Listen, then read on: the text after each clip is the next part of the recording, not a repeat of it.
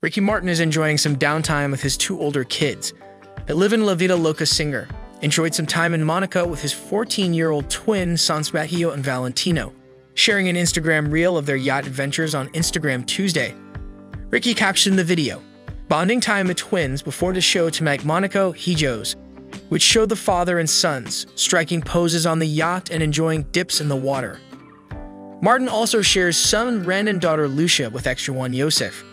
The former couple announced that they were divorcing after six years of marriage earlier this month.